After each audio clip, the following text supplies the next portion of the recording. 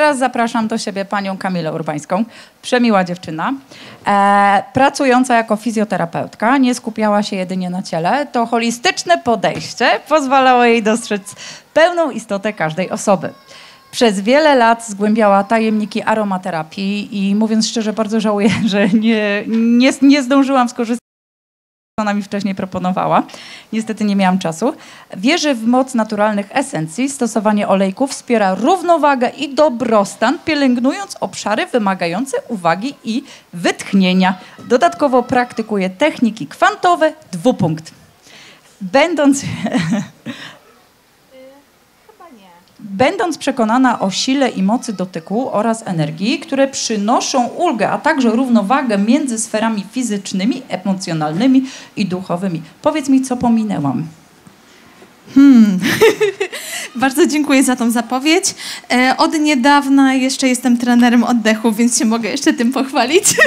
To cudownie. Dobrze, zostawiam Państwa z Kamilą i życzę Dziękuję pięknie za tą wykładu. zapowiedź. Y, Ja sobie pozwolę tutaj po prostu usiąść z wami, bo wy siedzicie i mi chyba też będzie łatwiej.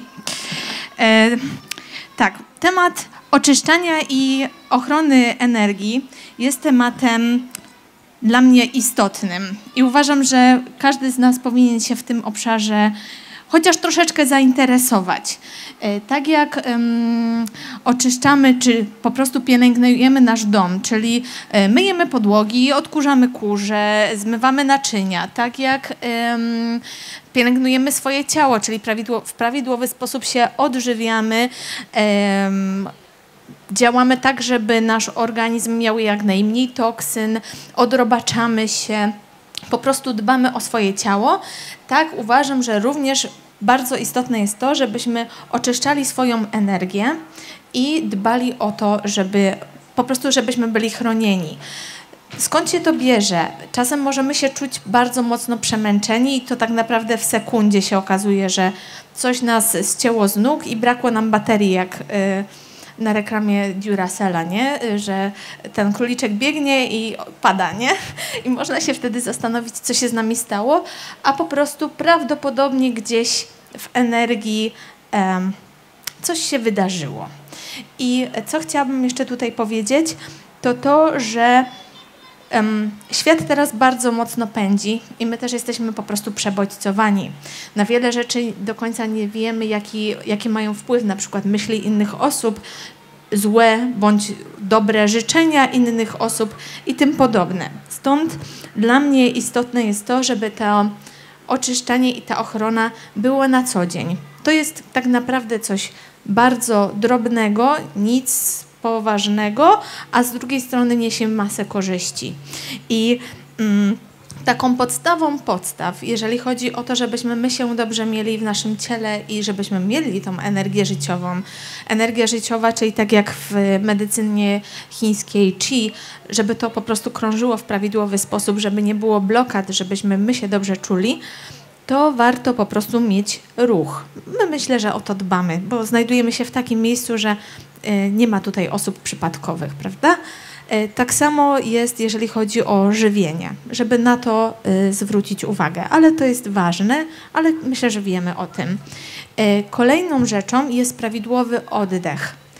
I jako właśnie trenerka oddechu zauważam, jak bardzo wpływa to na naszą energię życiową i jak prawidłowy oddech, gdzie oddychamy codziennie kilkaset razy. Jak zabraknie nam oddechu, to po prostu w kilka sekund już nas nie będzie na tym świecie.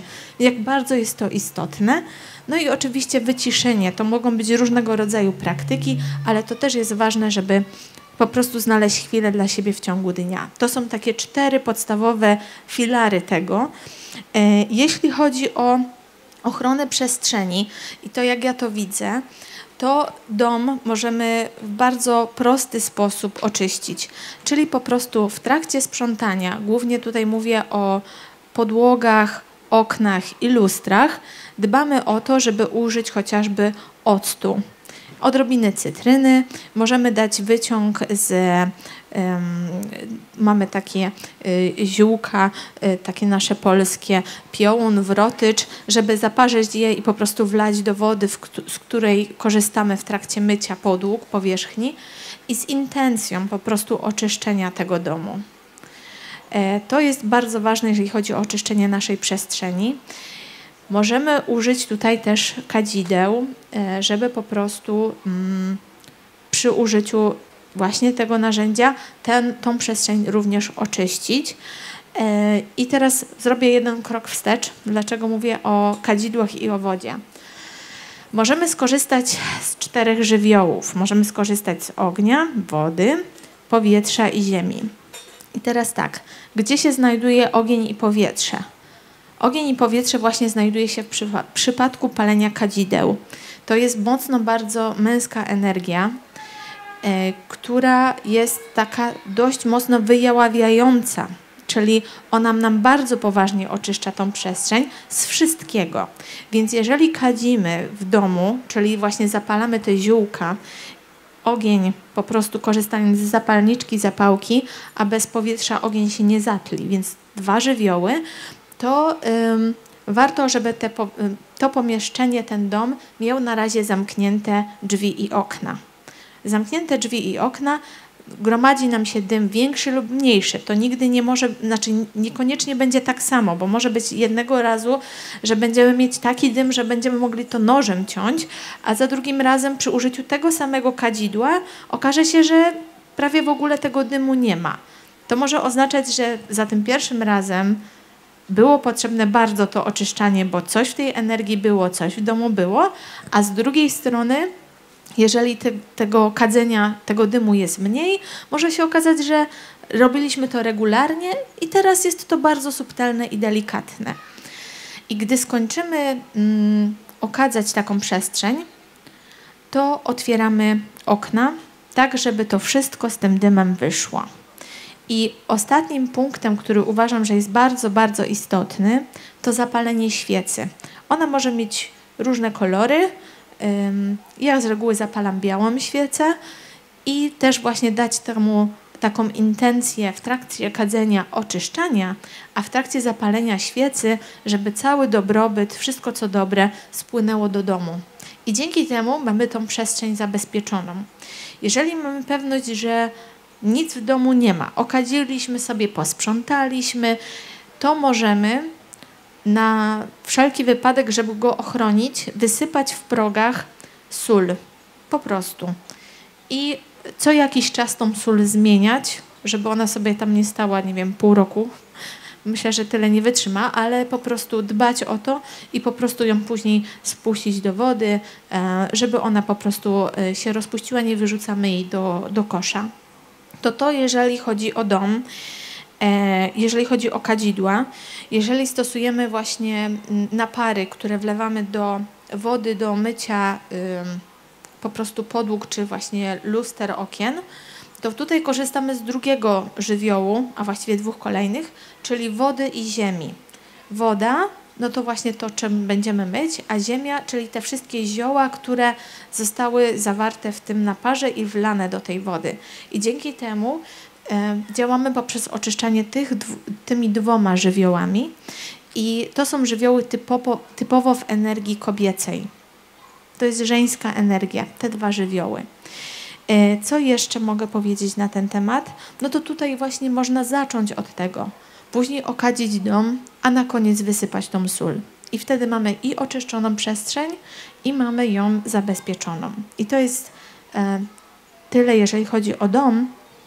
A jeżeli chodzi o e, ciało i oczyszczanie właśnie takie energetyczne, to tutaj również możemy właśnie zastosować te cztery żywioły. Pamiętajmy o tym, że ogień jest mocno transformującą energią.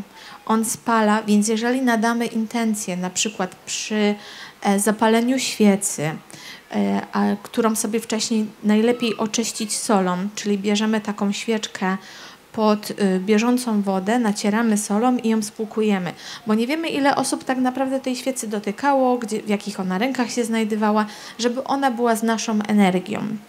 I e, gdy taką świecę po prostu oczyścimy, zapalamy, właśnie również z intencją takiej, takiego naszego oczyszczenia, żeby się z tą świecą też spotkać, z tym żywiołem ognia, e, to co jest ważne, to żeby się świeca wypaliła do końca. E, nie gasimy jej dmuchając tylko najlepiej po prostu złapać za paluszki i ją zgasić, ewentualnie jakimś kubełkiem, czymkolwiek, tak żeby nie zdmuchiwać płomienia, żeby to, co spaliła świeca, jeżeli musimy ją przygasić i odpalimy ją za, za chwilkę na przykład na nowo, to żeby ona...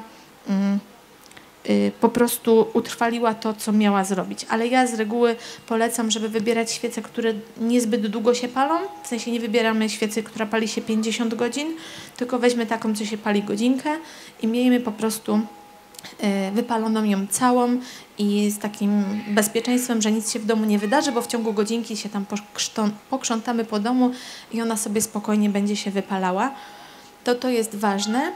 E, I e, co jeszcze?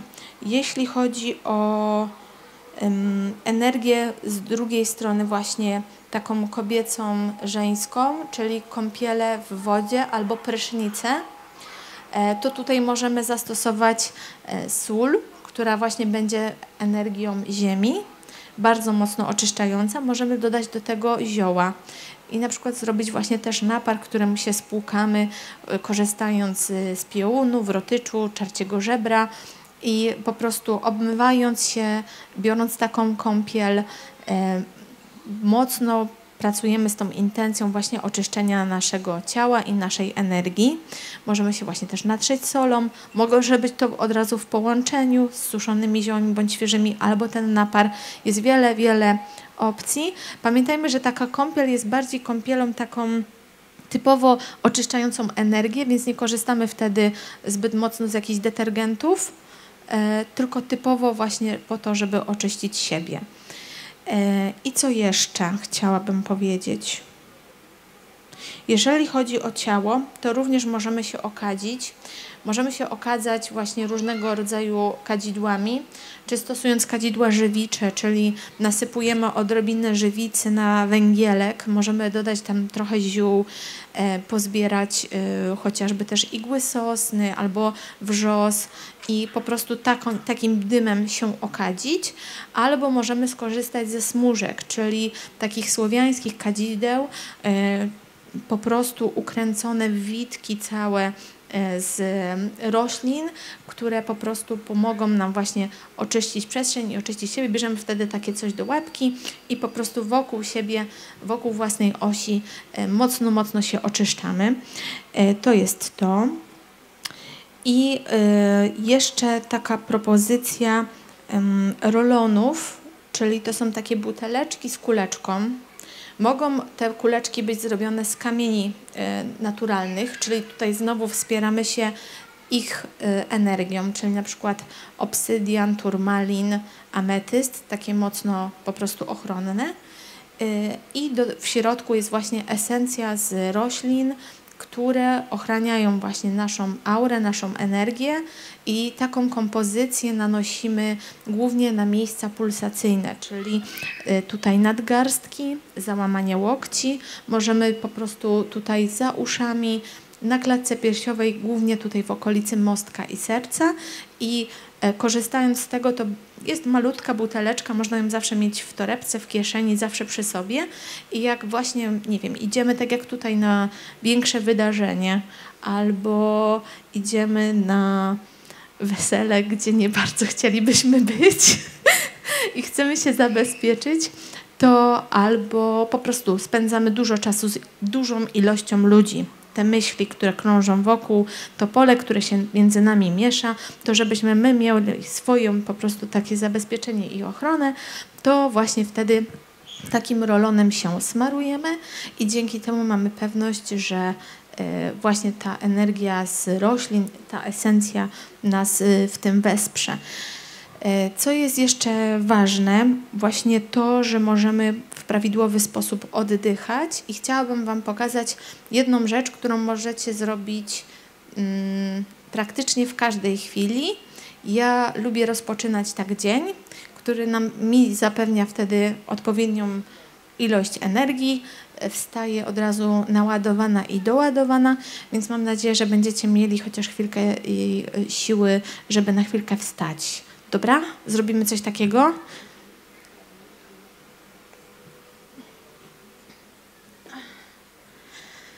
Tak, stańcie sobie najlepiej na ziemi, ale jeżeli, yy, jeżeli nie chcecie, to możecie sobie na, yy, na kocyku. Dobra. I teraz tak, czy mnie słychać? Nie wiem, stanę na palcach najwyżej.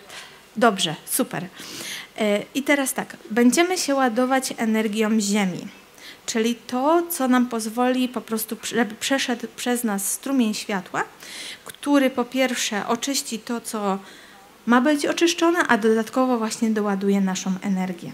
Możecie sobie zamknąć oczy. E, stańcie sobie tak, żeby było Wam wygodnie. Ważne jest to, żeby podeszwy stóp były całkowicie na ziemi, czyli nie tak jak ja na paluszkach, tylko Wy sobie stańcie całymi stopami. I teraz tak. Wyobraźcie sobie, że z waszych podeszw do ziemi wrastają wasze korzenie. To mogą być małe korzonki, to mogą być większe korzenie, mogą mieć różnego rodzaju kolory i one wnikają głęboko, głęboko w ziemię. Jak już czujecie to połączenie, to wyobraźcie sobie, że przez te korzenie do Ziemi, y, od Ziemi wnika przez nie światło.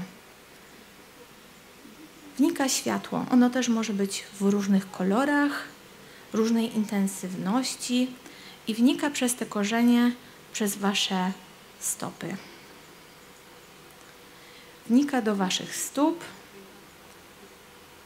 wnika wyżej, czyli do Waszych łydek wnika do kolan, rozświetla Wasze uda i miednice, wypełnia Wasz brzuch, plecy, wypełnia klatkę piersiową,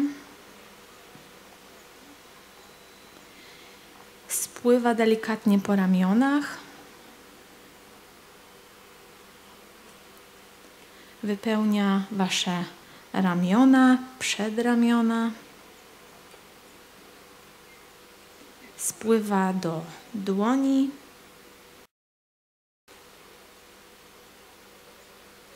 spływa do każdego z paluszków, ale idzie też w górę, czyli wypełnia Waszą szyję, wypełnia Waszą głowę, aż po jej sam czubek.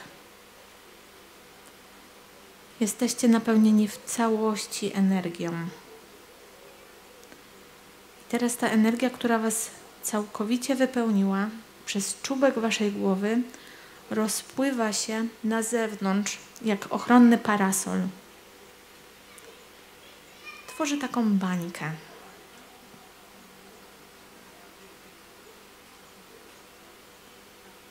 Poczujcie tą energię i jak się już ją całkowicie nasycicie, to wyobraźcie sobie, że te korzenie z waszych stóp chowają się z powrotem w podeszwy i możecie sobie spokojnie otworzyć oczy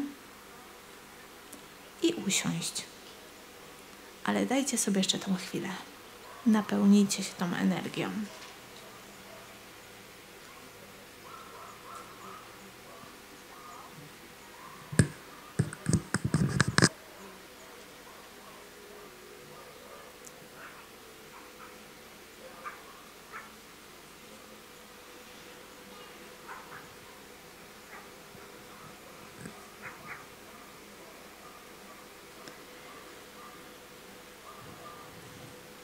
I jestem ciekawa, jak się czujecie.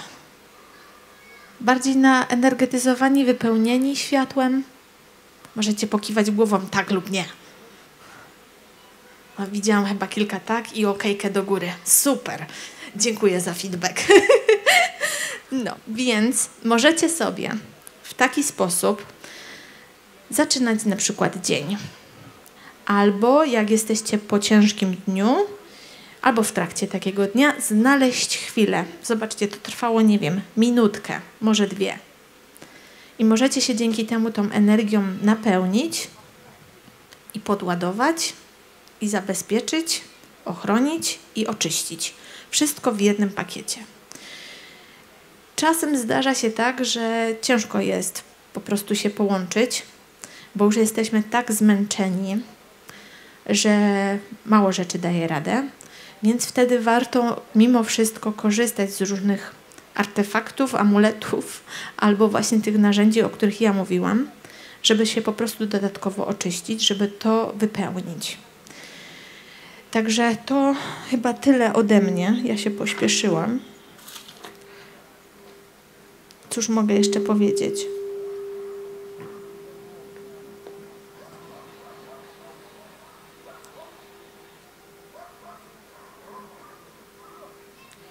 To, co jest ważne, jeżeli chodzi o oddech, to jeszcze tak dodam. E, pamiętajcie, żeby, bo panowie mają łatwiej, od razu niestety powiem paniom, bo oni oddychają z reguły brzuchem. A jak my chcemy prawidłowo oddychać, to my jak damy, oddychamy tu górnym żebrem, no nie? Nasze walory, atuty i tak dalej. A nam jest ciężko oddychać przeponą. Pamiętajcie, panie, że my też powinniśmy oddychać przeponowo. To jest podstawowy oddech, który wspiera właśnie też e, energetyzacji i oczyszczeniu. E, także to, to chyba tyle. Zapraszam w razie czego na y, nasze stoisko. Razem z Madzią tworzymy różnego rodzaju cudne rzeczy, począwszy od właśnie oczyszczenia ciała z różnych przyjaciół, z toksyn, po oczyszczanie właśnie energetyczne. A, i ostatnia bardzo ważna rzecz. Możecie się też tam poddać zabiegowi kończowania, ale pępka. Pępek jako połączenie z mamą to więzadło, które, albo te pozostałości, które tam zostały, bardzo często wpływają na brak harmonii w naszym organizmie. Jeżeli nie mamy harmonii w organizmie, to bardzo często właśnie jesteśmy bardziej podatni na to, że możemy się gorzej czuć, że ta energia gdzieś z różnych powodów nam ucieka. Więc warto też tym się zainteresować. I jeżeli macie dolegliwości związane z trzustką, woreczkiem y, żółciowym albo wątrobą, to to jest też sygnał o braku równowagi w organizmie, co może wiązać się z emocjami, które mamy w sobie. Niekoniecznie to musi być od razu relacja z mamą, ale mogą być tam pewne takie podwaliny. I e, zapis, który jest w wątrobie, dotyczy złości a zapis, który, do, który się pojawia w trzustce, dotyczy zamartwiania się. Więc warto się nad tym też zastanowić. E, w razie czego zapraszam, bo bardzo chętnie też o tym opowiem przy stoisku, tak już bardziej indywidualnie, ale pamiętajcie proszę o tym, żeby właśnie oddychać w taki sposób, żeby ten brzuch w trakcie oddechu napełnić. To nie wygląda atrakcyjnie, obrócę się bokiem, będę prezentować. Więc jak mamy brzuch, to my z reguły go wciągamy, drogie panie, a my musimy go wy wywalić. Czyli bierzemy wdech i wydech.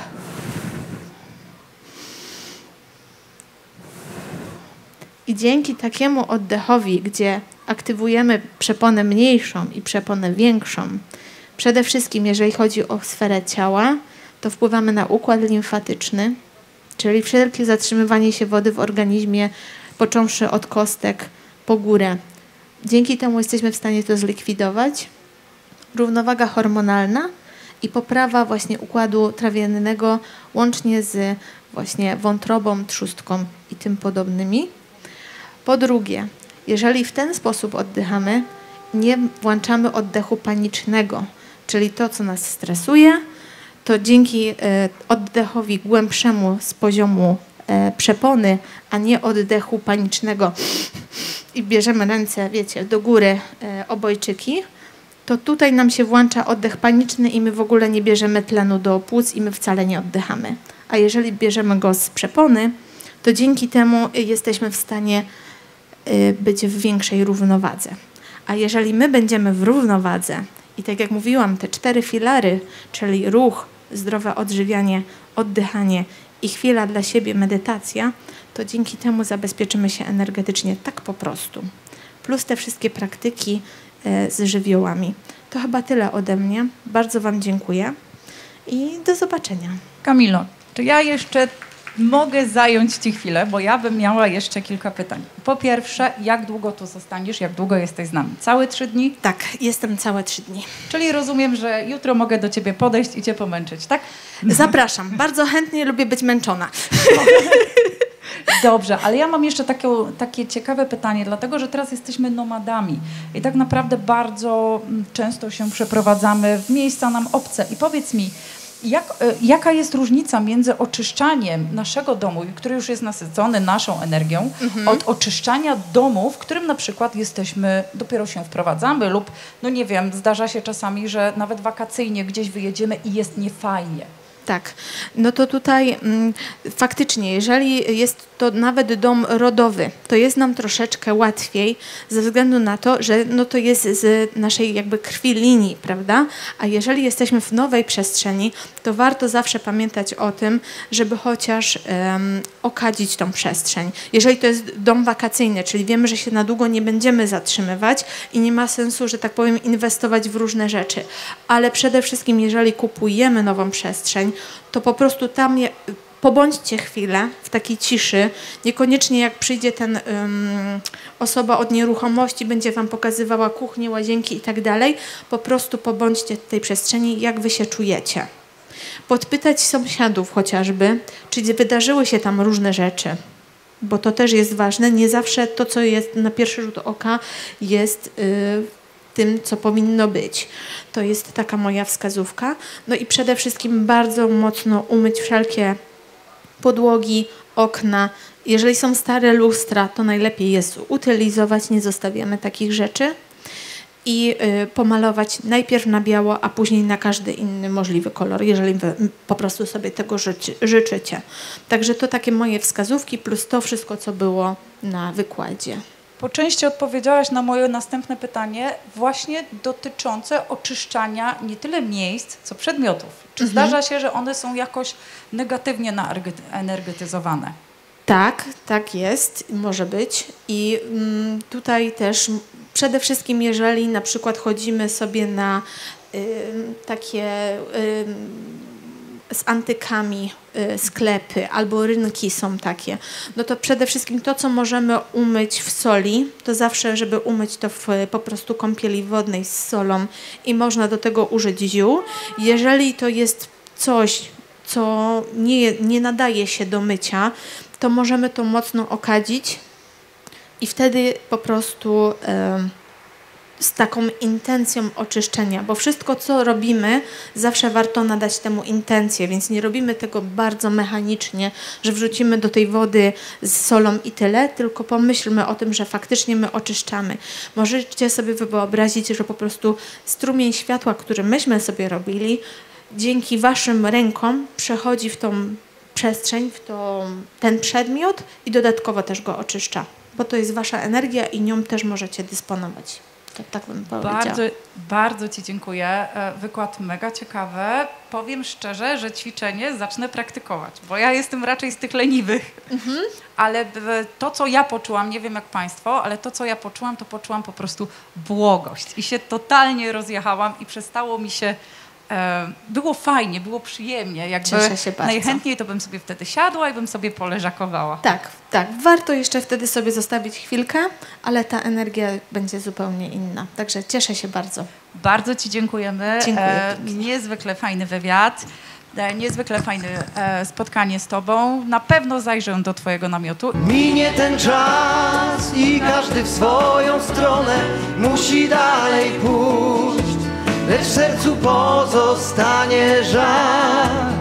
Ty tych słowiańskich pięknych lat. Tyle jest w nas, tyle wciąż w nas prastarych snów i dróg do gwiazd. To nasza ziemia, to nasz świat, lat ode